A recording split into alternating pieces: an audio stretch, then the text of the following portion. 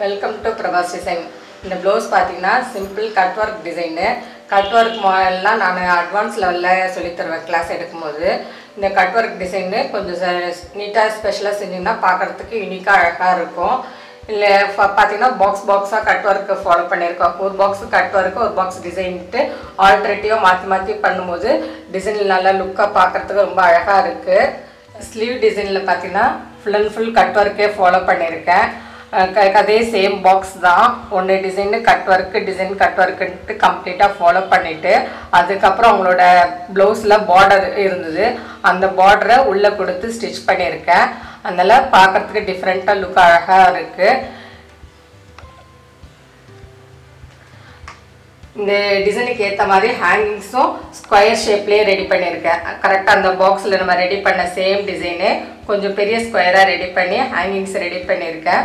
நல்லா ப்ளவுஸ்க்கு சூட்டபிளாகி ரொம்ப அழகாக இருக்குது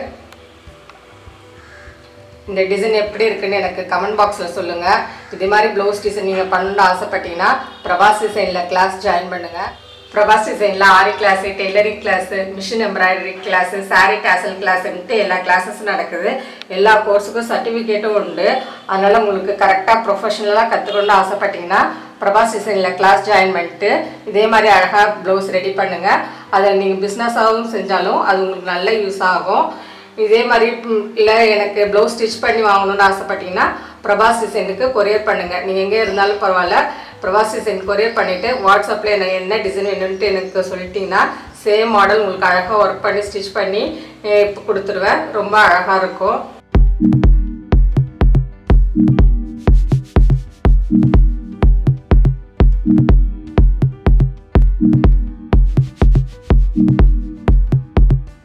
பிரபாஸ் டிசைன் சேனலை சப்ஸ்கிரைப் பண்ணுங்கள் மறக்காமல் பெல் ஐக்கோனையும் கிளிக் பண்ணுங்கள் இது பார்த்தீங்கன்னா சிம்பிள் கட் ஒர்க் டிசைன்ஸு அவங்களோட சாரீ கலரு மெரூன் கலரும் ஆஃப் ஒயிட்டும் இருந்துச்சு. ப்ளவுஸ் கலர் க்ரீன் கலரு அதனால் மூணு கலர் காம்பினேஷனில் வச்சு இந்த ப்ளவுஸ் ரெடி பண்ணியிருக்கேன் இல்லை எப்படி எப்படி ஃபாலோ பண்ணியிருக்கேன்ட்டு நான் உங்களுக்கு சொல்கிறேன் ஃபஸ்ட்டு நம்மளுக்கு என்ன நெக்லைன் வேணுமோ அந்த நெக்லைனில் ஒரு லைன் செயின் ஸ்டிச் கொடுத்துருக்கேன் சரி த்ரெட்டில் அதுக்கு அடுத்த line embossed thread load follow பண்ணியிருக்கேன். எம்போஸ் த்ரெட் லோடு மெரூன் கலர்லேயும் ஆஃப் ஒயிட் கலர்லேயும் மாற்றி மாற்றி ஃபாலோ பண்ணியிருக்கேன். ஒரு ஒன்றரை இன்ச்சு அளவுக்கு நம்ம ஆல்ட்ரேட்டிவாக ரெடி பண்ணும்போது டபுள் கலர் வந்து நல்லா அழகாக பைப்பிங் வச்ச மாதிரி இருக்கும். இந்த ஒர்க் ஃபாலோ பண்ணும்போது. அதனால் அப்படி ஃபாலோ பண்ணிவிட்டு மறுபடியும் ஒரு லைன் ஸ்டோன் லேஸ் கொடுத்துருக்கேன். அதுக்கப்புறம் ஒரு லைன் சுகர் பீடு கொடுத்து நெக்லைனை கம்ப்ளீட் பண்ணேன் நெக்லைன் கம்ப்ளீட் பண்ண பிறகு கரெக்டாக ஒன் அண்ட் ஆஃப் இன்ச்சஸில் மறுபடியும் இன்னொரு லைன் வரைஞ்சி அந்த லைனில் ஒரு ஸ்டோன் லேஸ் ஸ்டிச் பண்ணிவிட்டு அதுக்கப்புறம் அந்த பக்கம் ஒரு சுகர் பீடு இந்த பக்கம் ஒரு சுகர் பீடுன்னு வச்சு இந்த நெக்லைன் ஃபினிஷ் பண்ணிவிட்டு அப்புறம் உள்ளே வர இடம் எல்லாமே சின்ன சின்ன கரெக்டாக பாக்ஸ் கொடுத்துட்டு அதில் ஒரு பாக்ஸ் பார்த்தீங்கன்னா செயின் ஸ்டிச் ஃபில் பண்ணியிருக்கேன் ஜரி த்ரெட்லேயே மூணு லைன் செயின் ஸ்டிச்சு அதுக்கப்புறம் சில்க் த்ரெட்டில் செயின் ஸ்டிச்சுன்னு கொடுத்துருக்கேன். அதுக்கப்புறம் இன்னொரு பாக்ஸில் ஸ்டோனு திலகம் ஸ்டோன் நாலு திலகம் ஸ்டோன் கார்னரில் ஒட்டி அவுட்டரில் ஜர்தோசி கொடுத்துருக்கேன்.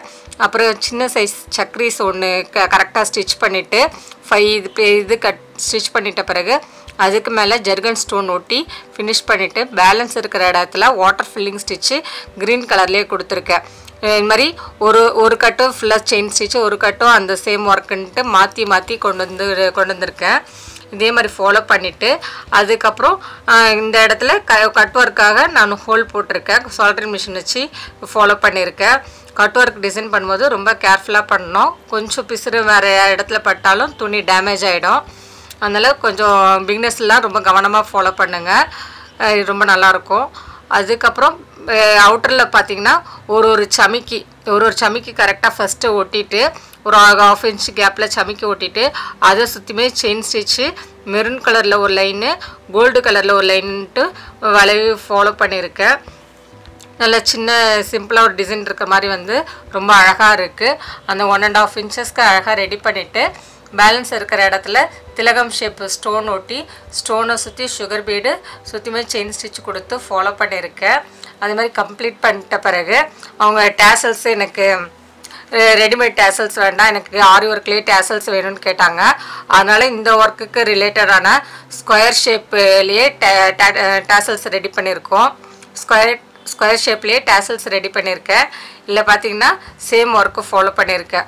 ஒரு line sugar bead stone lace sugar பீடுன்ட்டு outer பார்ட்டை முடிச்சுட்டு அதே மாதிரி உள்ளேயும் பார்த்தீங்கன்னா திலகம் ஸ்டோன் கரெக்டாக ஓட்டிட்டு சக்கரீஸ் ஃபாலோ பண்ணிவிட்டு வாட்டர் ஃபில்லிங் ஸ்டிச் கொடுத்து ஃபினிஷ் பண்ணியிருக்கேன்.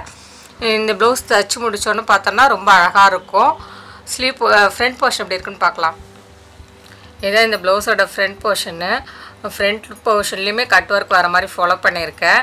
அதே மாதிரி பேக்கில் என்ன ஒர்க் ஃபாலோ பண்ணுமோ அதே ஒர்க்கு ஃபாலோ பண்ணியிருக்கேன். Chain stitch thread load stone lace sugar பீடுன்ட்டு follow பண்ணிவிட்டு அதே ஒன் அண்ட் ஆஃப் இன்ச்சஸ்க்கு சேம் ஒர்க்கு ஃபாலோ பண்ணி வரும்போது ரொம்ப அழகாக இருக்குது ஸ்லீவ் போர்ஷன் எப்படி இருக்குன்னு பார்க்கலாம். இதான் இந்த ப்ளவுஸோட ஸ்லீவ் போர்ஷனு ஸ்லீவ் ஒர்க்குமே ஃபுல் அண்ட் ஃபுல் கட் ஒர்க்கில் ரெடி பண்ணியிருக்கேன் அவங்க கட் ஒர்க் ரெடி பண்ணிட்ட பிறகு பார்டரை இந்த பார்டரை கீழே வச்சு ரெடி பண்ணி கொடுத்துருக்கேன் அந்த கட் ஒர்க்கு கீழே எனக்கு இந்த கோல்டு பார்டரை வச்சு ரெடி பண்ணி கொடுத்துருங்கன்னு கேட்டாங்க. அதனால் பார்டருக்கு மேலே கட் ஒர்க்கு ஸ்லீவுக்காக ரெடி பண்ணியிருக்கேன் இல்லை எப்படி ஃபாலோ பண்ணேன்னா ஃபஸ்ட்டு ஒரு line sugar bead thread load one and half இன்ச்சஸ்க்கு கரெக்டாக மெரூன் கலரில் ஆஃப் ஒயிட்லன்ட்டு மாற்றி மாற்றி கொடுத்துருக்கேன். அதுக்கப்புறம் ஒரு லைன் ஸ்டோன் லேஸு அடுத்த லைனு சுகர் பீடுன்னு கொடுத்து ஃபாலோ பண்ணிவிட்டு அதுக்கப்புறம் கரெக்டாக ஒரு ஒன் இன்ச்சுக்கு கரெக்டாக ஸ்கேலை வச்சு ஃபஸ்ட்டு வரைஞ்சிடணும். நார்மல் ஸ்கொயர் ஷேப் வரைஞ்சிருக்கேன். வரைஞ்சது மேலேயே ஸ்டோன் லேஸு ஃபாலோ பண்ணிவிட்டு அதுக்கப்புறம் அந்த லை அந்த சைடு சுகர் பீடு இந்த சைடு சுகர் பீடுன்னு ஃபினிஷ் பண்ணிட்டேன். ஃபினிஷ் பண்ணிட்ட பிறகு அதுக்கப்புறம் ஒரு கட்டத்தில் பார்த்தீங்கன்னா ஒரு மூணு லைன் செயின் ஸ்டிச் சரி த்ரெட்டில் மூணு லைன் மெரூன் கலர்லன்ட்டு ஃபாலோ பண்ணேன்.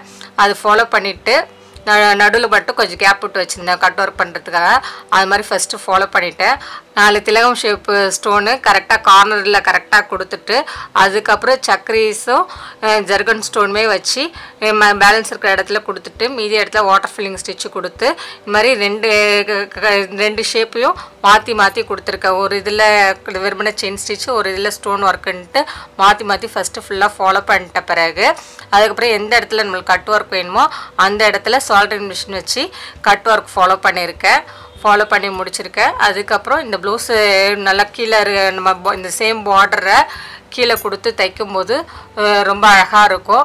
இந்த ப்ளவுஸ் தைச்சு முடித்தோடனே எப்படி இருக்குன்னு காமிக்கிறேன். இந்த டிசைன் உங்களுக்கு பிடிச்சிருந்ததுன்னா லைக் பண்ணுங்கள் கமெண்ட் பண்ணுங்கள் உங்கள் ஃப்ரெண்ட்ஸுக்கு ஷேர் பண்ணுங்கள் பிரவாஸ் டிசைன் சேனலை மறக்காமல் சப்ஸ்கிரைப் பண்ணிக்கோங்க. பெல் ஐக்கானை கிளிக் பண்ணிக்கோங்க. தேங்க்யூ